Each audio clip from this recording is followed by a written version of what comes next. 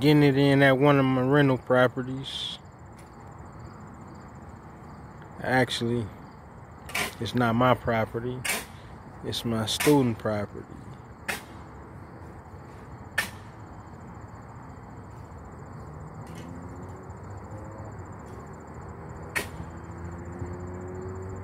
Doing a little cleaning up. This is a distressed property that was purchased with a tenant already in place. Or should I say, with a resident already in place.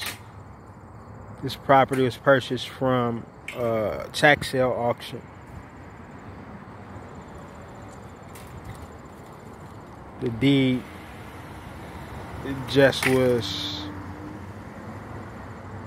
recorded and we just acquired this property.